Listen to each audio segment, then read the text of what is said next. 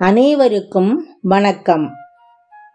ராஜரிஷி விஸ்வாமித்திரரால் இவ்வுலகத்திற்கு வழங்கப்பட்ட காயத்ரி மந்திரம் குரு மந்திரம் மகா மந்திரம் என்று போற்றப்படுகிறது. மந்திரங்களின் தாய் என்ற பெருமையை கொண்டது.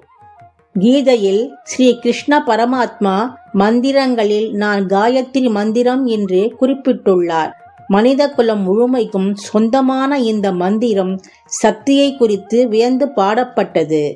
ரிக்வேதத்தின் மூன்றாவது மண்டலத்தின் பாடலாக உள்ள இந்த மந்திரம் சாவித்திரி மந்திரம் என்றும் கூறப்படுகிறது.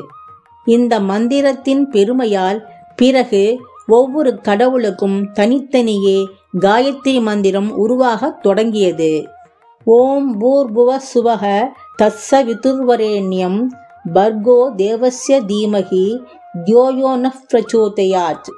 இதன் பொருளானது பூர்லோகம் புவர்லோகம் ஸ்வரலோகம் ஆகிய மூன்று லோகங்களையும் படைத்த ஒளி பொருந்திய வணக்கத்திற்கு உரிய சக்தியை நாங்கள் தியானிக்கிறோம். மேலான உண்மையை உணர அந்த பரம்பொருள் எங்களது அறிவை மேம்படுத்தட்டும் என்ற பொருளை கொண்டது இந்த மந்திரம். இதை ஜெபிப்பவர்கள் அதிகமான பிராண சக்தியை பெற்று ஆயுள் விருத்தி அடைவர் என்கிறது வேதம். இதை சொல்வது மட்டுமல்ல கேட்பதும் அநேக பலன்களை தரும் என்கிறார்கள் ஆன்மீக பெரியோர்கள். உபநயனம் செய்யப்பட்டவர்கள் நாள்தோறும் காயத்ரி மந்திரத்தை ஜபம் செய்ய வேண்டும் என்று சாஸ்திரங்கள் கூறுகிறது. வேத மந்திரங்கள் அனைத்துமே உச்சரிப்பதற்கு ஏற்றபடி ஒலியின் அளவை உடையவை. காயத்ரி என்னும் ஒலியின் அளவை கொண்டு இந்த மந்திரம் இயற்றப்பட்டதால் இம்மந்திரம் காயத்ரி மந்திரம் என்ற பெயர் பெற்றது.